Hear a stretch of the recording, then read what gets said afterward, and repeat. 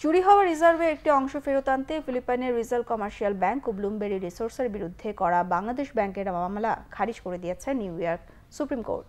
এখতিয়ার না থাকার কথা উল্লেখ করে আট এপ্রিল মামলাটি খারিজ করা হয়। এদিকে তথ্য যাচাই করতে প্রতিবেদনটি আইনজীবীর কাছে পাঠানো হয়েছে বলে জানিয়েছে বাংলাদেশ ব্যাংক। মঙ্গলবার মামলা খারিজের বিষয়টি জানায় ফিলিপাইন ভিত্তিক সংবাদ মাধ্যম এনকোয়ারার ডট নেট। সোমবার মামলা খারিজের বিষয়টি ফিলিপাইন স্টক এক্সচেঞ্জকে অবহিত করে ব্লুমবেরি।